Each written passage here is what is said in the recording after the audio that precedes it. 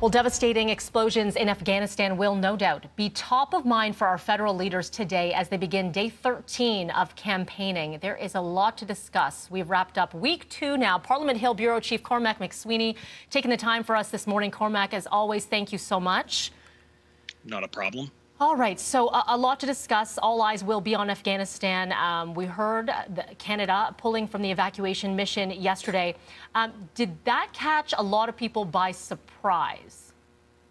I think we were expecting the pullout within days. The government had signaled that, but it, it, was a bit of a surprise. We didn't know that the last flight would be leaving when it did leave. Uh, but you know, the the chief of defense staff, the acting chief of defense staff, General Wayne Eyre, uh, had said that they had to keep a lot of operational details quiet for security purposes. Uh, so we only found out about the last flight leaving uh, well after it had left. Um, but you know, this is a big issue right now. It's it's bleeding into the campaign trail for the federal election.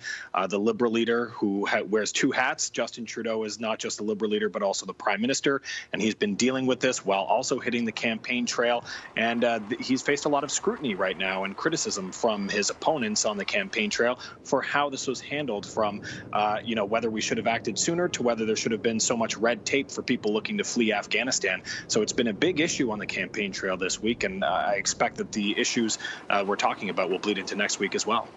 Cormac, you mentioned that this could this could hurt him on the trail right now. And looking at some recent polls, you're seeing the Conservatives catch up uh, in a lot of those numbers. Do you think that the Liberals regret calling an election?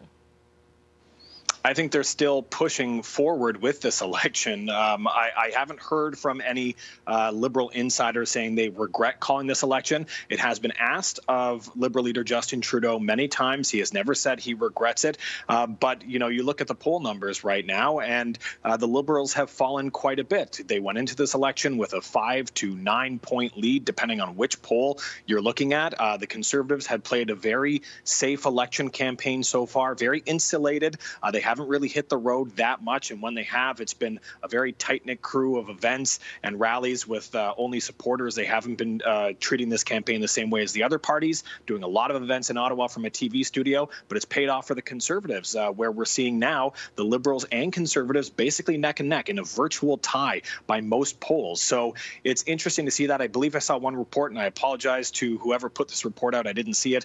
Um, uh, I can't remember exactly who did it, but they said that some liberal, liberal insiders are t- telling candidates to hold steady. It can be bumpy in a campaign, uh, and that uh, we could see things uh, go up and down. And, and, that's very true. Campaigns never finish the same way they start, and there's a lot of movement in a campaign, but right now it's not been in the favor of the Liberals. Let's talk about some of the issues, and affordability has been at top of mind for all of the leaders. Uh, we saw a lot of announcements around housing. Who's hitting it home right now for you?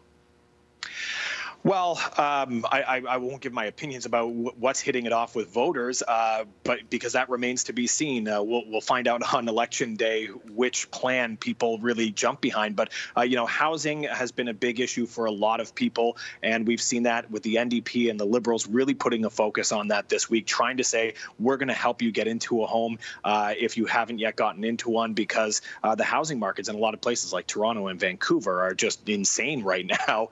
Uh, but uh, on top of that, we heard the NDP talking about trying to cap cell phone bills, and uh, even the Conservatives say, look, we want to bring in a new savings account for workers stuck in the gig economy, and, and trying to appeal to um, uh, you know more blue collar union style workers as well by making uh, promises that they'll give them a seat at the table on the board of directors for large corporations across Canada.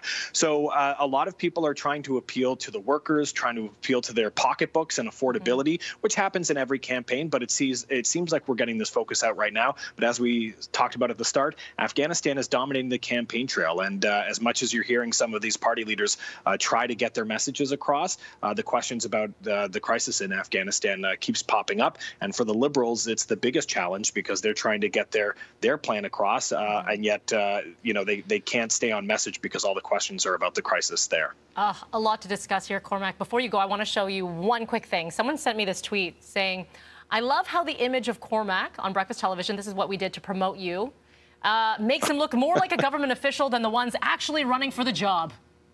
There you go. We'll, we'll leave That's that very kind.